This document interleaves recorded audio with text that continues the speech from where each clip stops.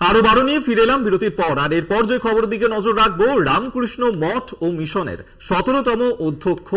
অধ্যক্ষ নির্বাচিত হলেন স্বামী গৌতমানন্দ মহারাজ। আপনারা জানেন যে কিছুদিন আগেই প্রয়াত হয়েছিলেন শরণানন্দ মহারাজ এবং সেই ক্ষেত্রেই নতুন অধ্যক্ষ নাম ঘোষণা হবে এবং সতেরোতম অধ্যক্ষ নির্বাচিত হলেন স্বামী গৌতমানন্দ মহারাজ। অধ্যক্ষ নির্বাচিত হলেন স্বামী গৌতমানন্দ মহারাজ। সতেরোতম অধ্যক্ষ আরও বিস্তারিত জানব। আমাদের সঙ্গে টেলিফোন লাইনে রয়েছেন আমাদের প্রতিনিধি জগন্নাথ সামন্ত। জগন্নাথ মিশনের একটি নির্দম নিয়ম আছে, যেটা হসি পরিষদে সিদ্ধান্ত হয়। সবচেয়ে বয়স যার আছে, তাকে নির্বাচিত করা হয়।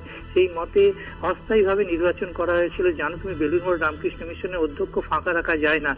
সেই কারণেই এখানে অস্থায়ীভাবে বসানো হয়েছিল গৌতমানন্দজি মহারাজকে। কিন্তু পরবর্তীকালে হসি পরিষদের মিটিং হয়। মিটিং হয়ে আজকেই সিদ্ধান্ত হয়েছে, তিনি স্থায়ীভাবে অর্থাৎ বেলুড় মঠের প্রেসিডেন্ট মহারাজ হিসেবে তিনি আসন গ্রহণ করলেন গৌতমানন্দজি মহারাজ এবং আজ থেকে তিনি দায়িত্বভার নিয়ে নিলেন। বেলুড় মঠের সমস্ত কার্যকর যা রয়েছে, মহারাজদের যেসব নিষ্ঠা, ভক্তি এবং বিভিন্ন যে কার্যকলাপ সমস্ত বিষয় আজকে প্রেসিডেন্ট মহারাজের হাতে দায়িত্ব চলে এলো। আজ থেকে পুরো নির্বাচিত করে হসি পরিষদের মিটিং বসে নির্বাচিত করে প্রেসিডেন্ট মহারাজ হিসেবে নির্বাচিত হলেন গৌতমানন্দজি মহারাজ।